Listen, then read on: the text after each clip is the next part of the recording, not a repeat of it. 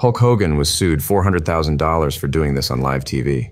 Now, the first thing you need to know about amateur wrestling Yes? or professional wrestling are submission holds. You just tell me, brother, when you want him to quit squealing, okay? All right. It's called a front chin lock. How about it, T?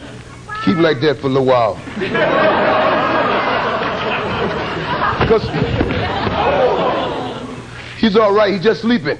This incident is from a 1985 episode of Hot Properties, hosted by the late Richard Belzer. On that night, the show welcomed the renowned professional wrestlers Mr. T and Hulk Hogan as special guests. Initially, the interview proceeded smoothly, but a moment of tension arose when Richard used a word that left Mr. T puzzled. Well, you lose, use a big word. See, Mr. T. Antithetical means I'm a- opposite. Forgive me. I'm Right, right. I'm a street brother. That's why the kids. Well, I'm from the street, too. That's I- why the kids. I learned relate- that word myself, The kids not in relate to me because I'm not a phony. I'm not a lot a of guys either. gonna try to get use big words and whatnot. I use this and that, whatnot, in plain, simple English. Okay. So everybody can understand me. This miscommunication didn't sit right with Hulk Hogan, and upon his introduction to the show, he swiftly began to assert dominance over Richard, leading to a confrontational atmosphere.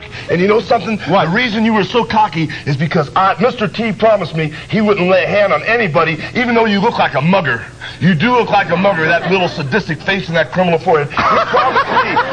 To lighten the mood, they suggested they do a demonstration for the audience, which Richard agreed, without knowing what was involved. Richard later explained, while on an interview with Bob Costas, that he was unconscious for exactly 11 seconds. During that time, he dreamt he was late for the show. In a state of shock, he gets up off the ground and throws the show to commercials. See? It works.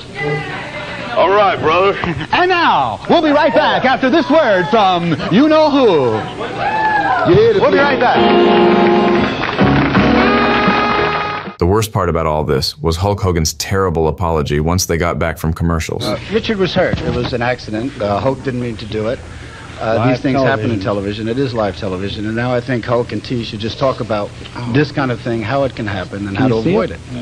Well, you know, um, I feel really bad about the situation. Richard asked me to demonstrate a professional wrestling hold, and that's exactly what I did. I uh, put what is called a front chin lock on the man, and uh, when I released him, he fell and hit his head.